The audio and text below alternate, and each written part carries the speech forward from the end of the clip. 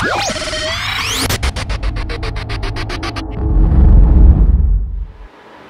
I'm Coach Ryan Faehnle here, and I'm in the VIPAR Pit today. And I'd like to talk to you, give you a little tidbit to let you know whether or not you're ready from a calorie standpoint to start a fat loss diet.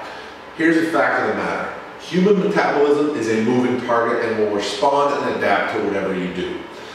Over the course of dieting, if you need to lose weight, okay, you're gonna have to enter a calorie deficit for the most part. If you want to drop weight, Yes, there's something to be said for quote unquote recomping where you keep your body weight the same and lose body fat and gain muscle, but typically it's better to do it in phases.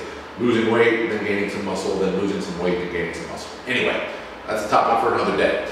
If you need to lose body weight, you are going to have to achieve a calorie deficit. And that means eating below your needs to the point where you're actively losing weight on the scale over time.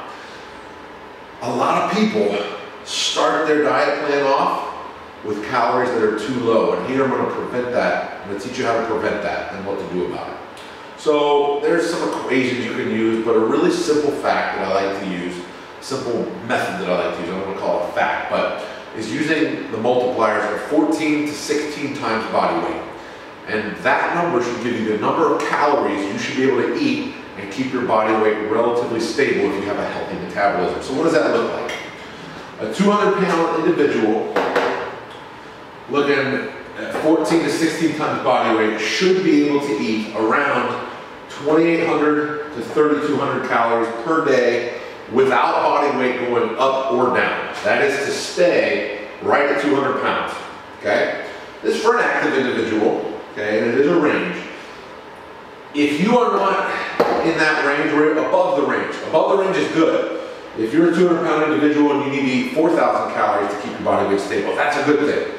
Okay, but if you are below that 14 times body weight number, your metabolism is not in a good enough place to start a diet. Because the fact of the matter is, you have to gradually trim calories over time. Metabolism will adapt, so metabolism is going to slow down the further you get into a diet. So if you have a lot of weight to lose and you're starting below this number, you've basically given yourself no room to pull calories from later on. Just take an example. I had this happen before. 200 pound individual comes to me. Body weight is maintaining, so they're not dropping any weight at all on a thousand calories per day. So, if I wanted them to drop body fat or drop body weight, what would that mean? I'd have to take them down to probably seven or 800 calories a day. Guess what? That's going to work for a couple weeks and then they're going to stall out again. Then what? Do I have to take them down to 500 calories a day? You can see where over time this gets dangerous. You have to allow yourself enough room. So what do you do if this is you? What do you do if you are below this 14 times body weight number, but you have a lot of body fat to lose? Here's the harsh reality. It's a pill you're not going to want to swallow, but I'm giving it to you straight. You're going to have to spend some time gradually increasing your calories to the point where you can maintain in that window. Remember, metabolic rate is adaptable. So what I would do, this is you and you're eating 1,000 calories a day at 200 pounds and that's how you maintain, I would start by going up to maybe uh, 1150. Okay, so we're just adding 150 calories, maybe 1200. Okay, that's 50 grams of carbs a day. That's not a lot of an increase. Okay, and we're gonna hang out there for maybe two to three weeks.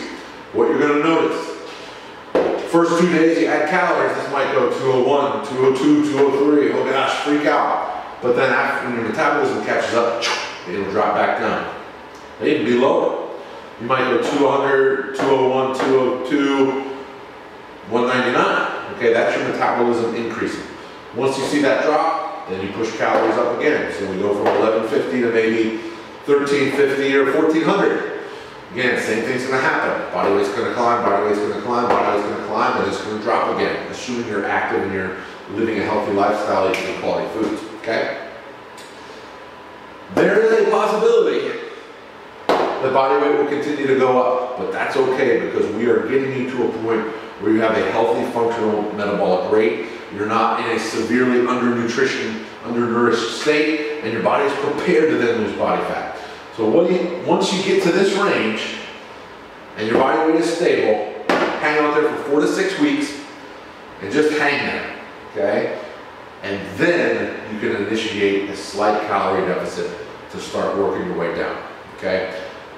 Human, meta- human metabolism is no fun sometimes. It seems a little bit cruel, but it's for survival. And that is, that is what your body wants to do. It wants to survive. It does not know whether you're trying to lose body fat or whether you're starving on a desert island. So these mechanisms are for our benefit, but it can be frustrating sometimes when you uh, want to change your body and you're not prepared to do it. So hope this tip works for you today. If you're not in this range or higher, get there first before you start trying to drop body fat.